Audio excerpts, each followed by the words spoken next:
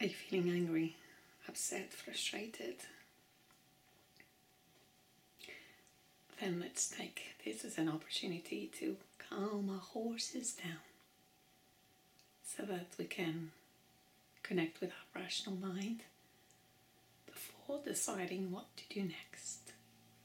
So, we are going to improve our next moment connecting with ourselves and allowing our nervous system to activate the parasympathetic part of it, which is our calming, our rest and digest. It's a part of the nervous system that allows our body to heal and recover,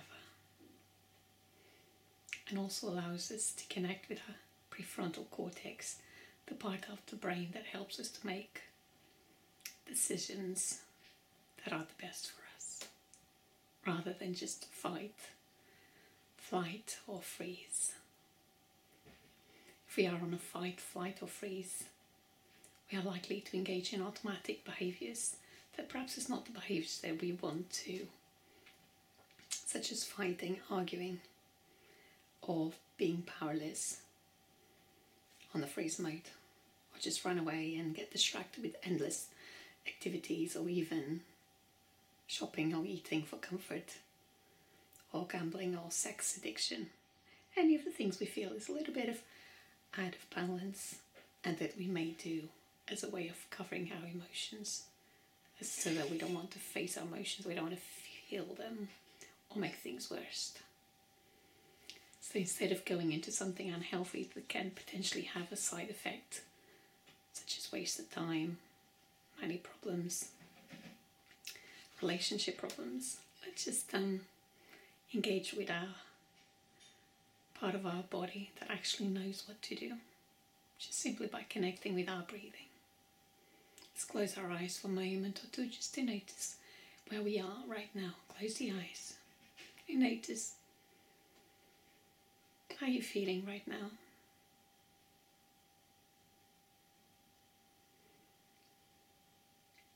On a scale of 1 to 10, how are you feeling right now?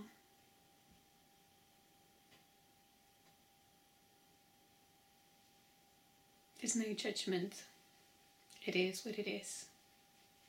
Let's see if you can improve and feel a little bit better. We don't have control over things, other people, but we have control over how we react, how we think. We have a degree of control of our behavior. The automatic reaction, not so much, but then we can hold get hold of ourselves and then direct and moderate that automatic reaction so that we can engage in actions and options that are more supportive and more in line with the person we want to be. For instance, instead of shouting, I want to be able to express myself assertively. I'm sure you all want to do that instead of arguing and shouting, or instead of saying nothing, we might want to. That would never be me. actually, in certain situations, it would be me. Work situations. But actually, I would still say, um, yeah. So, some of us will say what we think. I might even argue, and some of us might say nothing, then feel resentful. So, and the opposite of that would be to be assertive, so that we are respectful to ourselves and others and we take into account the needs, wants, and wishes of ourselves and others, and we communicate in a respectful manner. So we are in line with the person we want to be, not the automatic person that we may be, or not the automatic behavior that we might engage. Because perhaps we learn from it, or it's just a habit, or perhaps we never learn any better behaviors. So, with that in mind, let's just um, blow away through an exhalation all the things that we no longer need, our old habits.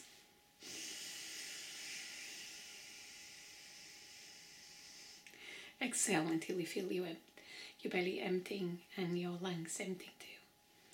Let go of the feelings you no longer need, frustration, anger, resentment, criticism, judgment. Let go.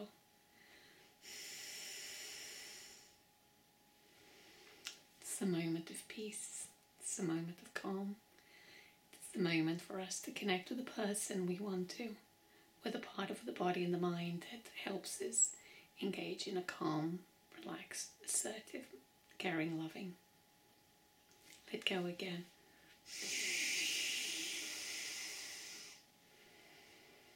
Let go again. Doesn't matter. It may matter, but right now, what's more important is to calm the body down.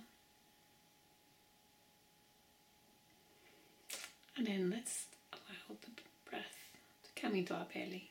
Because we perhaps we've been breathing shallow and or fast or not breathing at all.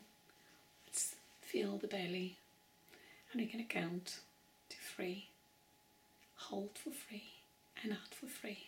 Close the eyes. In. Hold. Out.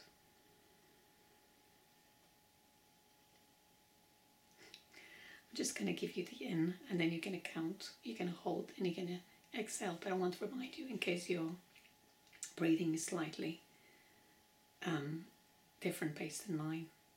Okay, gonna inhale for four, hold for four, out for four. Breathe in.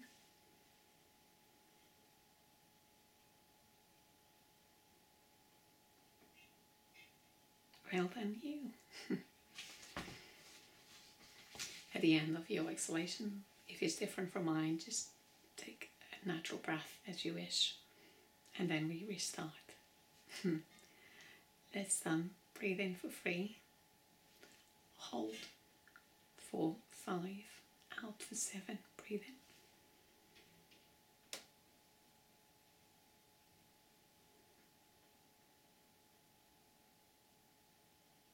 Well done, you. you stand here inhaling. We're going to keep our eyes closed so that we cut down the external stimulation. We're going to put place our hands in our belly and feel the belly rising and fall. And we're going to notice our body become a little bit more calmer, a bit more relaxed, a bit more present. Becomes more away from our thoughts and into the body. Can breathe it in for five, hold for seven, and out for nine. Breathe in.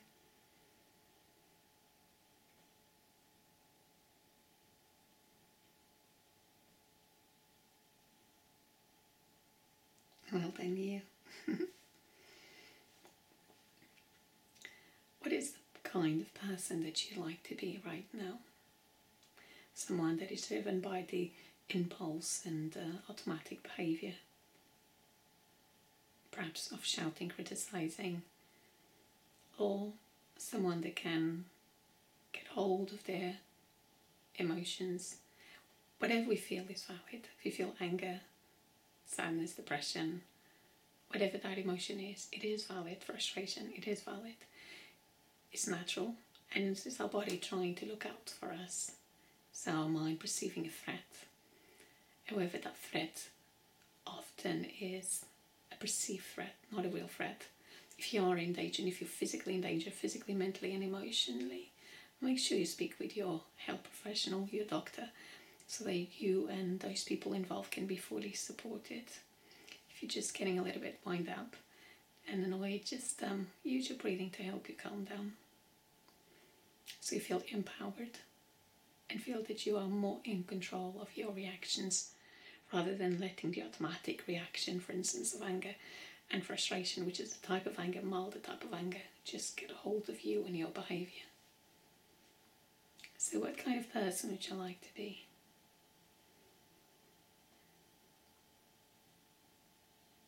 someone perhaps that is in control of their emotions and can use that you can use that energy in a positive way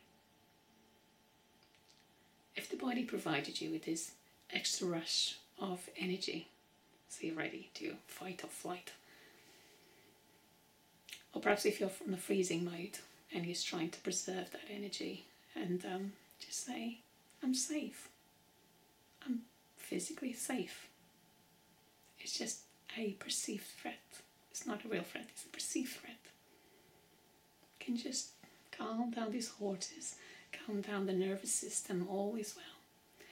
You wouldn't see it as all is well. That is something that perhaps is getting on your nerves, but um, in the big scheme of things, as a, if you look at it from a survival point of view, as in you're gonna die right now or not die, um, it's just something that perhaps we can navigate through it. Just a bit of a rough sea, just a bit of a wave that we need to know how to surf, find our balance and surf it. Let's breathe in for five, hold for seven, out for nine.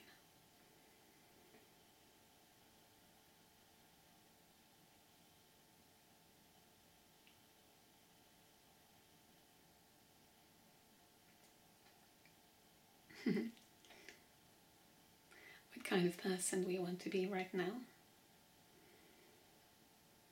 Perhaps a role model, an example of how Perhaps if you're a parent, you want to role model how you manage to get hold of yourself, to manage your frustration and anger in front of your kids or, par- or partner, spouse, so that they can also learn what to do. Perhaps you want to have the courage to speak up in an assertive manner. But first, we manage ourselves, our emotions, our body. Breathe in. Breathe out.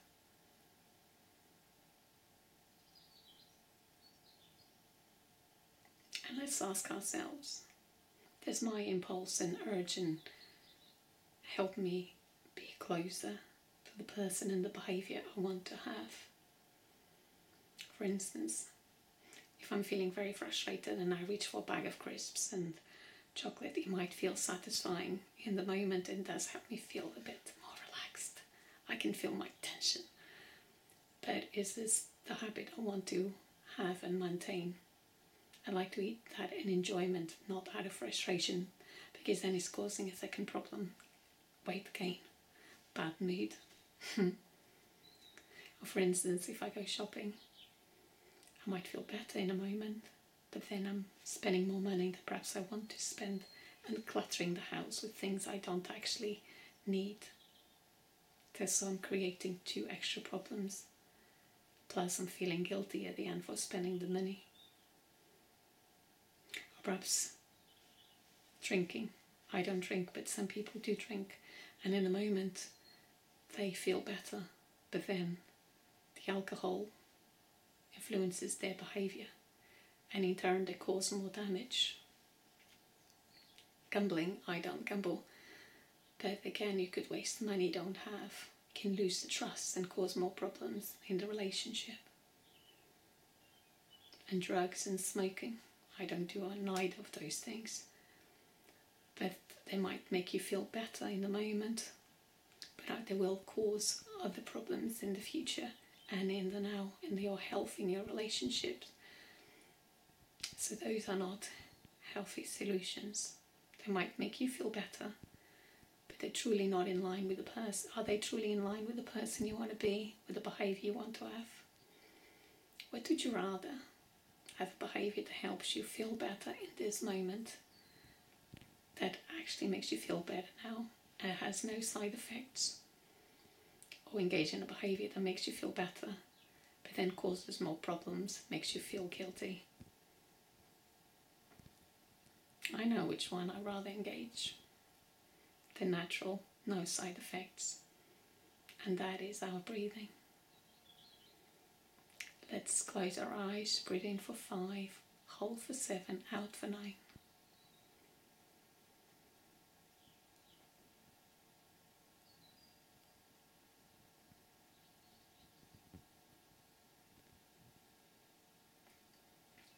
We might have the automatic impulse of trying to control, criticize, judge, because we want to feel secure, safe. But how is this helping us be the person we want to be we want to be controlling or someone that trusts and takes into account others' needs as well as mine, as ours as well as ours? Would you like to be would we like to be in the receiving end of that controlling judgment, criticism? Or would we like someone to treat us with calmness, respect, perhaps raising the issue in a relaxed, respectful, loving manner? So, what kind of person do we want to be right now? Breathe in for five, hold for seven, out for nine.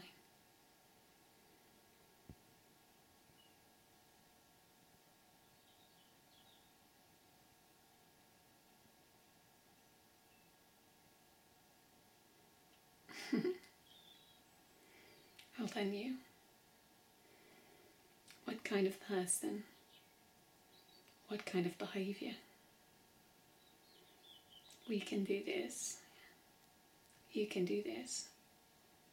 Let's bring a little smile to our face. Feel a little proud for engaging in a moment of calmness.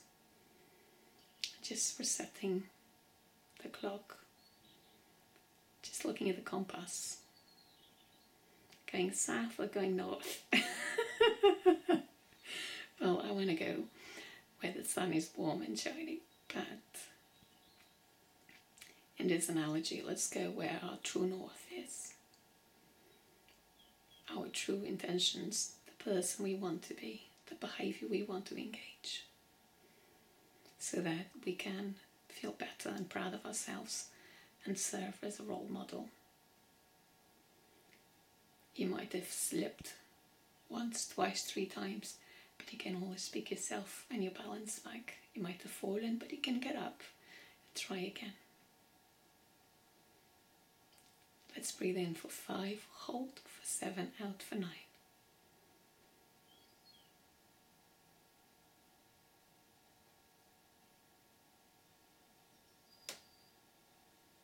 Then you, I hope, I sincerely hope that you are feeling a little calmer, a bit more balance and got hold of your horses so that you can take them in the direction that you wish that is more beneficial for your mind, for your body, for your spirit, for the person you want to be. I you know, big hug. You're doing the best you can with the resources that you have, the energy that you have. Don't beat yourself about it. Ask help if you need to. And just trust that this too shall pass. And uh, with every practice, you'll get better and better and you are rewiring your pathways in your brain, as in, this is the way I want to be. And occasionally, old ways will come up, but um, with practice, you'll be able to become more stable, stronger, and more determined than ever to ride the path that you choose, not an impulse, not an automatic that does not serve you. you got this. Bye for now.